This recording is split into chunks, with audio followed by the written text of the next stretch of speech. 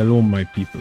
So in today's video, I'll be showing you a little Newcastle trick that I found out. But first, I'm going to talk about Newcastle's ultimate range. Now for everyone who uses Newcastle, you already know how inconsistent that thing can be because its overall range is just too short. That's when not locked to teammates. However, for some reason, his downward range is large. No, no matter how high I stand and down, I can always place my ult. Now you could say, of course, it's going to be like that because his whole animation in that direction, which I kinda agree with. But what if I told you it was never meant to be like that? It actually does have range.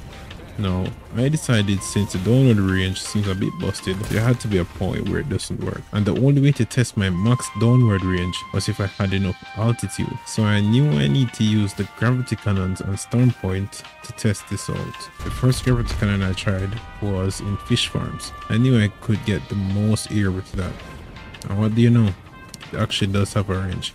Then I was able to use my ult a second time again. It's like I never used it. So it's like I get a free ult every time I break past my ultimate range.